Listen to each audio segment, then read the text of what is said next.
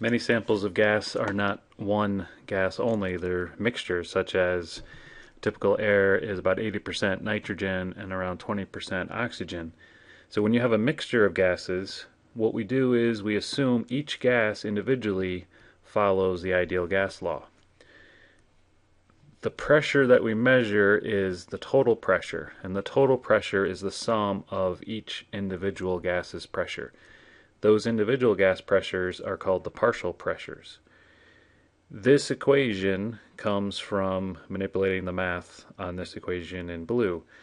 PA is the partial pressure of gas A. That equals capital XA, which is called the mole fraction of A, times the total pressure. The mole fraction is just the moles of the chemical you're interested in A divided by the total number of moles. So here's a problem where we mix together 6 moles of hydrogen, 2 moles of nitrogen, and 1 mole of ammonia. The total volume of the container is 10 liters, and the temperature is 80 degrees Celsius. First, we want to figure out what the total pressure is, and then each gas's partial pressure. Well, the total pressure we can get from PV equals nRT. So P is nRT divided by V where n in this case is the total number of moles.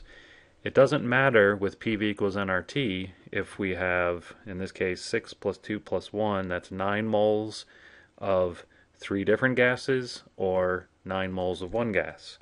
The pressure is from the total number of moles, so 9 moles times the gas constant.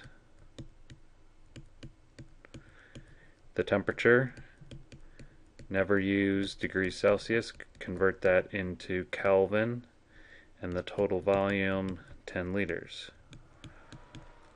So the total pressure works out to be just over 26 atmospheres. We're going to next calculate the partial pressure of each gas using this equation. So if we want the pressure just due to the hydrogen, we would find the mole fraction of hydrogen times the total pressure.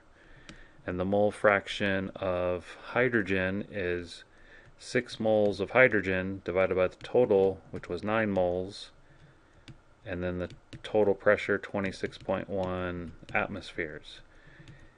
Notice the mole fraction is a unitless number because the mole cancels with the mole, 6 ninths of 26.1 works out to be 17.4 atmospheres.